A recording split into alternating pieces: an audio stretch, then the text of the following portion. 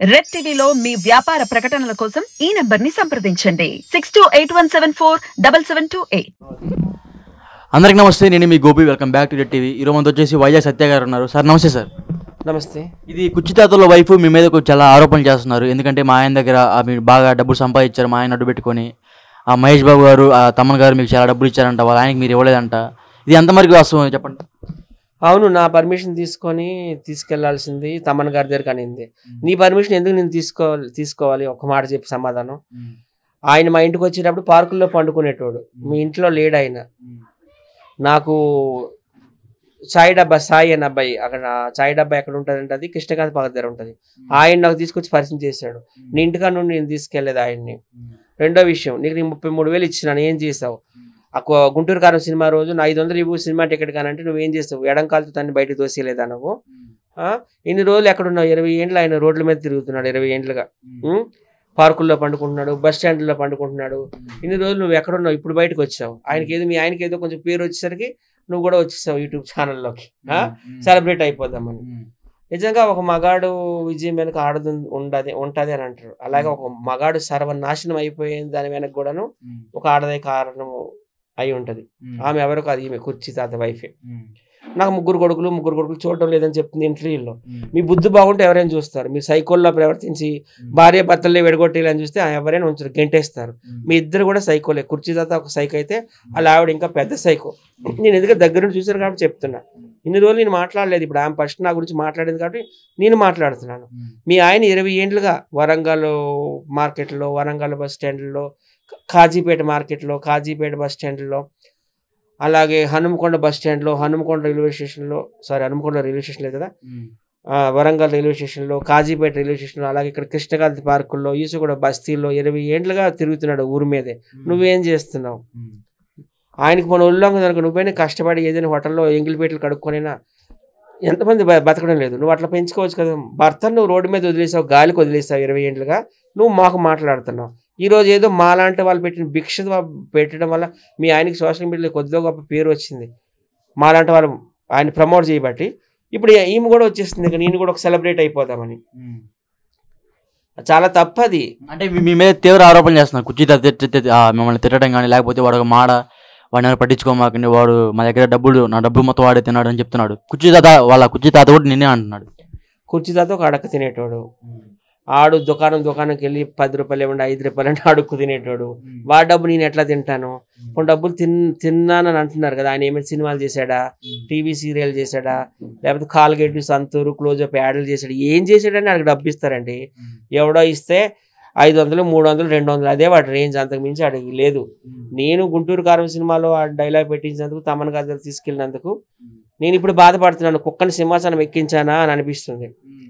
మా టీంలో ఉండేటప్పుడు పులిబాల్ టీంలో ఉండేటప్పుడు ఆయన మంచి మంచి బట్టలు వేసుకునేవాడు కార్లు ఎక్కేవాడు ఫైవ్ స్టార్ హోటల్లో మాతో భోజనాలు చేసేవాడు అన్నీ జరిగాయి.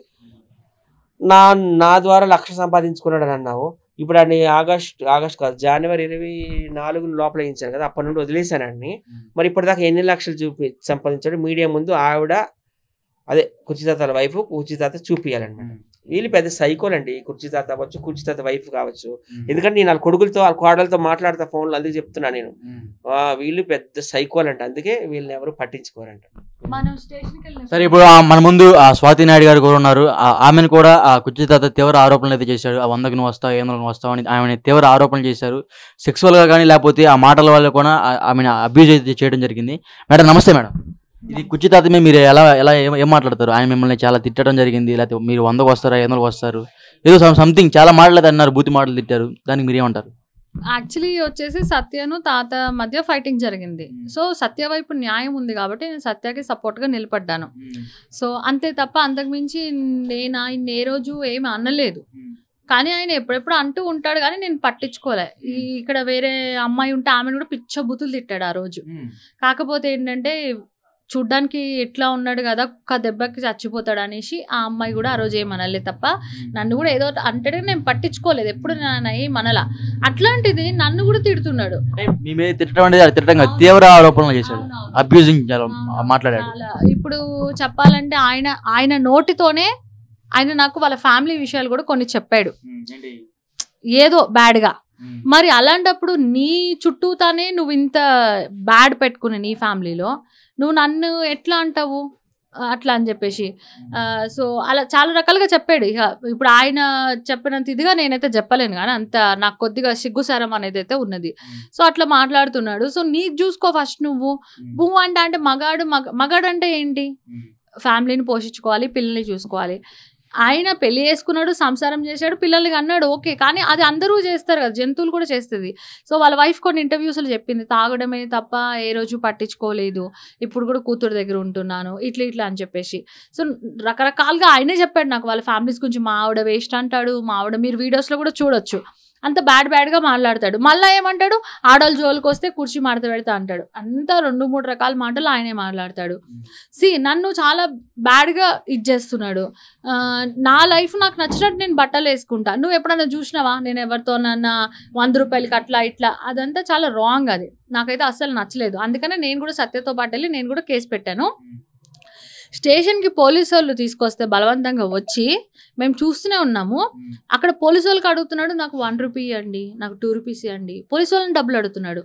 మళ్ళీ అక్కడ కేసు పెట్టడానికి వచ్చిన వేరే వాళ్ళకి డబ్బులు అడుగుతున్నాడు. ఆ, అక్కడ కూడా అడుక్కుంటున్నాడు ఆయన. పోలీస్ స్టేషన్లో కూడా అడుగు అడుక్కుంటున్నాడు. ఇక ఎట్లా అంటే ఇక అతని గురించి మాట్లాడడం కూడా వేస్ట్ ఇంకా. అంత వేస్ట్ పర్సన్. మనతో పాటు ఇంకొకరు ఉన్నారు ఆ Rakesh master third wife Lakshmi garu ఉన్నారు. మేడం నమస్తే మేడం. నమస్తే. మీరు చెప్పండి మేడం ఎలా ఎలా భావిస్తున్నారు కుర్చీదత్త వ్యాఖ్యల్ని? సత్య గారు చేసిన సత్య గారి మీద చేసిన వ్యాఖ్యల్ని మీరు ఎలా ఖండిస్తున్నారు? నేను ఏంటంటే అతనికి చెడ్డ అని తెలుసు. నన్ను కూడా రెండు మూడు సార్లు ముస్కాన్ అన్నారు తీసుకెళ్ళి చాలా ఫేమస్ వీడియోలు ఇవి అని అన్నది.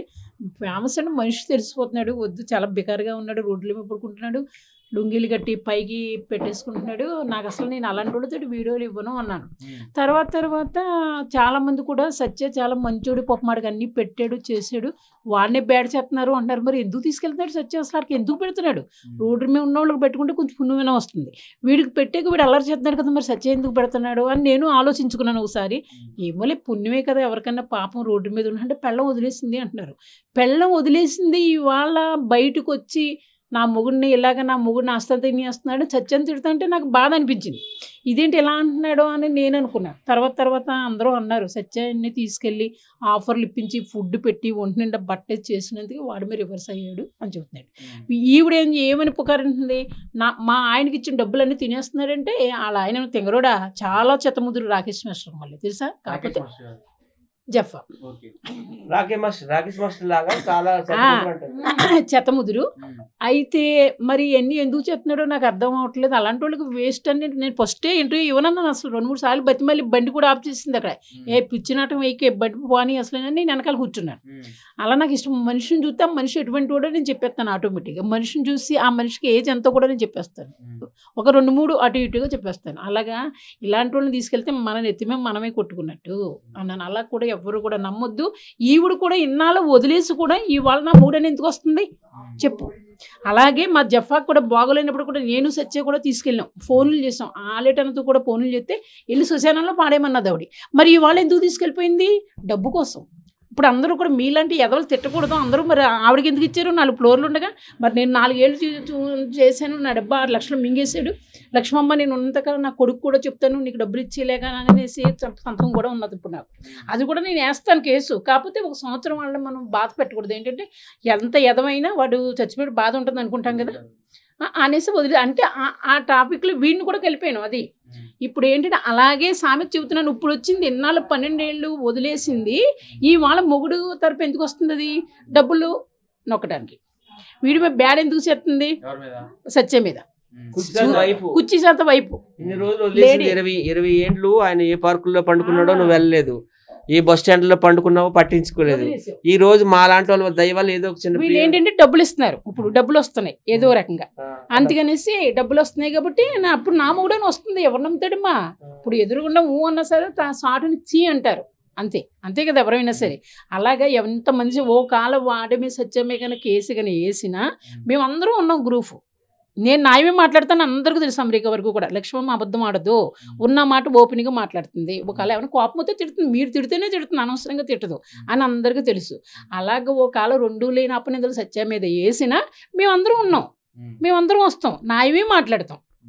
పబ్లిక్ తెలుస్తుంది కదా. ఏది మా బ- పెంటకుప్పల్లో రోడ్లో పడుకుని వాడికి బట్టలు ఇచ్చి చేసి వాళ్ళకి ఎక్కడెక్కడికి తీసుకెళ్ళి ఇంటర్వ్యూలు ఇప్పించి డబ్బులు ఇచ్చి చేసిన మనకి బ్యాడ్ చేస్తే తప్పు కదా. ఒకవేళ బ్యాడ్ చేసినా బ్యాడ్ అవ్వదు. నమ్మే వాళ్ళు తెలియని వాళ్ళు నమ్ముతారు. తెలిసిన వాళ్ళు ఎవరు? కానీ వాళ్ళు కూడా తర్వాత కూడా తెలుసుకుంటారు. అందుకని నా తమ్ముళ్ళే భావింతాను నేను ఎప్పుడు కూడా. ఒకవేళ మీరు గుద్దుకున్నారంటే గుద్దుకుంటాం గుద్దుకుంటే కొట్టుకుంటాం తిట్టుకుంటాం. ఒక నెల రెండు నెలలు కోపం. అలాగే ఫ్యామిలీ టైప్లో మేము కలిసి మళ్ళీ హ్యాపీగా ఉన్నాం. అలాగే సత్యామికి ఎవరన్నా వచ్చినా మా గ్రూపు అనేది ఉన్నది. నేనంతే పర్ఫెక్ట్. నాకు అస్సలు భయం అనేది తెలియదు న్యాయంగానే మాట్లాడతాను న్యాయంగానే పోరాడతాను ధర్మంగానే ఉంటాను లేదన్న వాళ్ళకి రూపాయి పెడతాను నువ్వు పెడతానంటే నేను తింటాను. అందుకు వాడి మీకు వచ్చినా మేము అందరం ఉన్నాం. ధర్మమే మాట్లాడతాం న్యాయంగానే వెళ్తాం. అంతే.